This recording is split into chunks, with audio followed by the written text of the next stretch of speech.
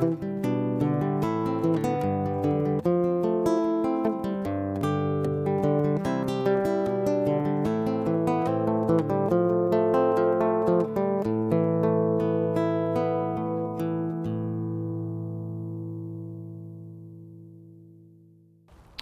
hi there, butterfly watchers.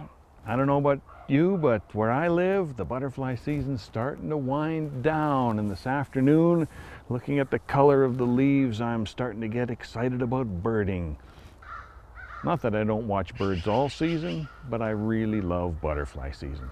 Anyway, it's time to sit back and, and uh, you know, reflect on the season that, uh, that's just happened and for me, one of the big themes was nets, butterfly nets. People asking me uh, about the place of nets in butterfly studies. Are they really necessary? Aren't they kind of old fashioned? We've got all this, this uh, great equipment in terms of binoculars and cameras and so on now. My view is, yes, we have superb stuff when it comes to the close focusing binoculars and the macro focusing cameras. Uh, it's great. And I, had, I've had wonderful times pursuing butterflies with that kind of equipment and nothing else.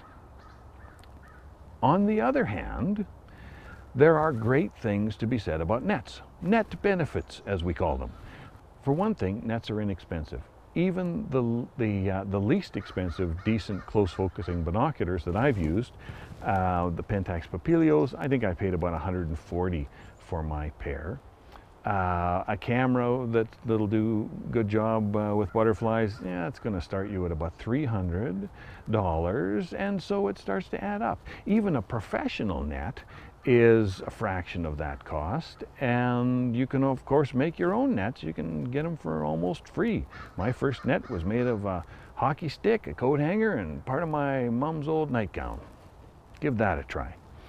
So there's there's that. There's also the fact that for a large group of people you want to introduce them to butterflies. It's so much easier to hand out a bunch of nets and uh, and have people examine the butterflies in the hand.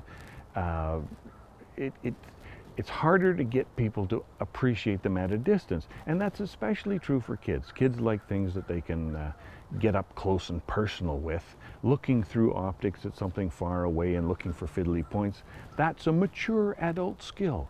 And many of us are kind of still a bit of a kid at heart. So that's another benefit of, uh, of nets. Here's Katy Prudic, pardon me, Dr. Kathleen Prudic, the U.S. coordinator for eButterfly. She's going to show us how she catches, examines, and releases butterflies unharmed in the field with a net.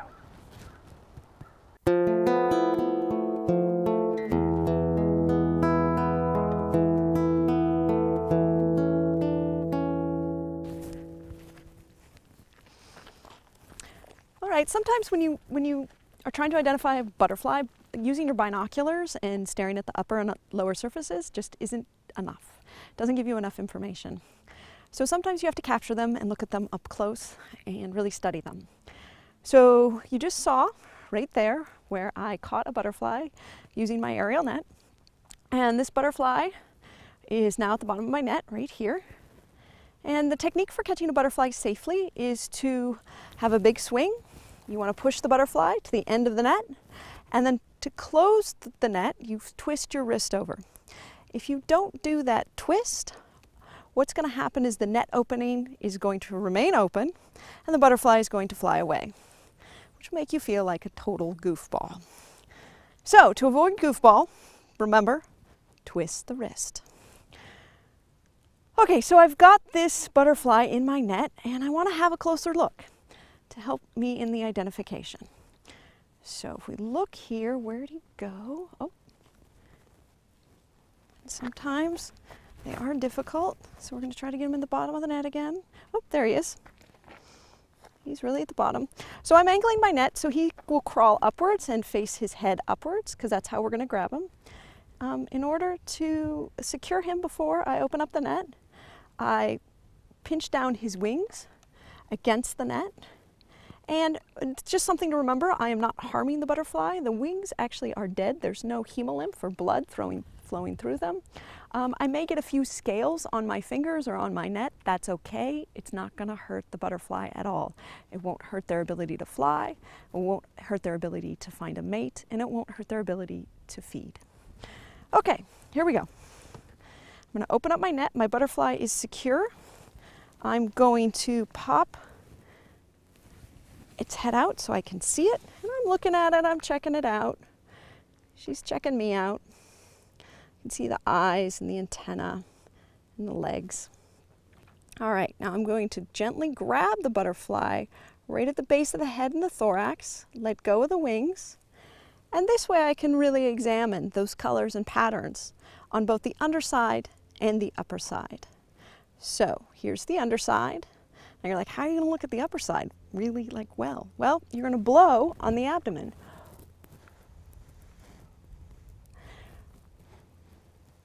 And it should open up the wings. There you go, so you can see them. Um, and so you're looking at the color, the pattern, the shape of the wings. That will help you with your identification, just getting a better feel for what species this is. This happens to be a common ringlet, Coenonympha tullia. Very nice little bug. All right, when you're done with your identification, when you're done with looking how beautiful they are, you can just gently put them on your hand or just let them go. They will often just sit there, kind of wait. So they don't seem scared at all. All right, to get them to move, if you feel so inclined, you just gently blow on them.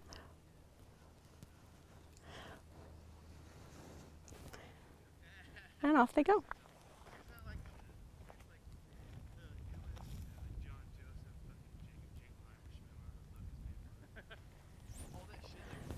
There you go. That's how you catch and identify a butterfly. Marvelous. And about the only thing I can add to that is that um, some people prefer to use uh, blunt-tipped forceps to spread the wings and examine uh, the butterfly in the hand before letting, letting it go. And others prefer a glass jar or a small bottle and look at the butterfly through the glass. Give it a try. Try all these techniques and please don't worry that you're going to do any harm. Uh, it's vastly less harmful to the butterflies than fishing is to fish, even if you catch and release fish, which is another thing that I'll admit I do from time to time. Now here's Zac MacDonald, butterfly enthusiast and tennis instructor, to help you with the more athletic aspects of the butterfly net.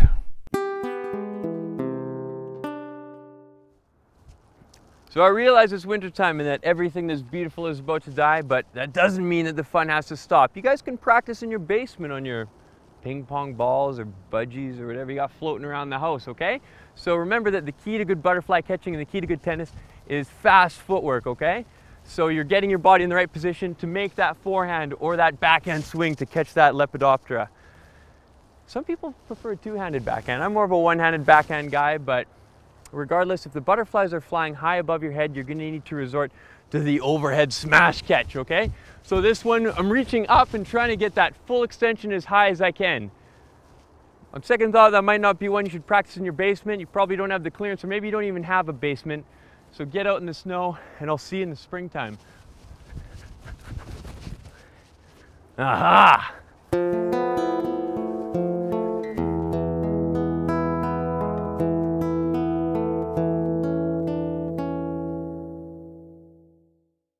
So there you go, and thanks so much for, uh, for listening.